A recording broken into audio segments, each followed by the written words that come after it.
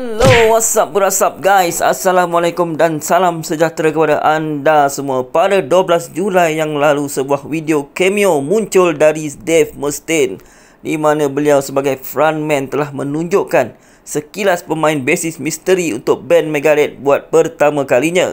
Walaupun wajah pemuzik dalam video itu tidak jelas, tetapi rata-rata peminat Megadeth mula berspekulasi tentang siapa itu. I'm walking around the studio right now, and and uh, that's uh, Chris Rakestraw back there sitting on the console, and uh, you've got our mystery bass player uh, hiding behind the chair down there on the floor, so you can't see him.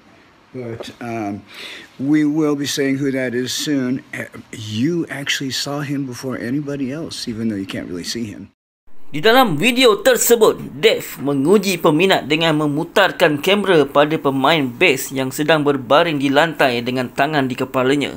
Namun sebagai clue, terdapat sebuah gitar bass 5-string BTB Ibanez. Walaupun beliau mengesahkan bahawa Megadeth akan mendedahkan siapa pemain bass yang tidak dikenali itu, tetapi peminat telah mengemukakan teori.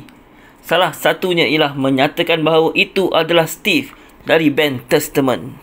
Walau bagaimanapun, kita pasti akan dapat tahu juga tidak lama lagi. Sama-samalah kita menantikannya.